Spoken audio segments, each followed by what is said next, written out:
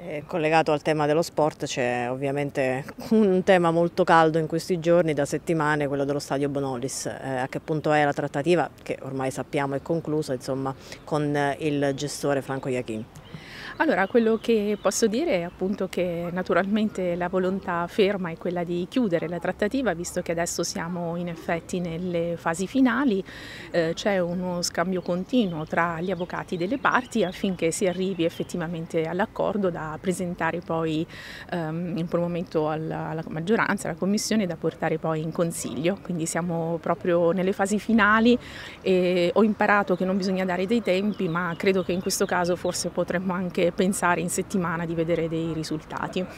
Il città di Teramo è spettatore interessato perché attende di capire se riuscirà entro il 12 luglio ad indicare lo stadio Bonolis nell'iscrizione. Eh, certo, eh, il città di Teramo eventualmente dovrà poi eh, partecipare alla gara per la gestione sportiva e nel frattempo quindi interagire con il comune nelle more dello svolgimento della gara. Siamo perfettamente coscienti e consapevoli di questa scadenza e naturalmente stiamo pensando anche a questo, certo che sì.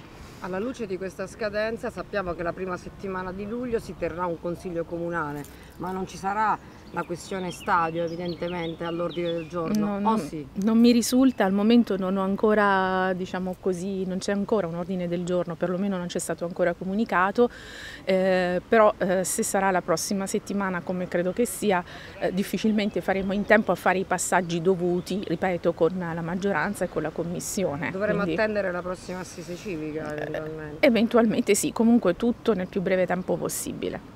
Una volta che abbiamo l'accordo direi che tutto il resto sicuramente dovrà seguire una strada rapida.